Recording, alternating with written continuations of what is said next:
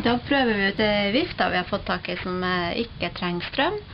Og eh, som får, strø, får lage strømmen sjøl fra varmen fra ovnen. Og den skal gjøre at eh, varmen fra ovnen fordeles lettere, bedre i rommet.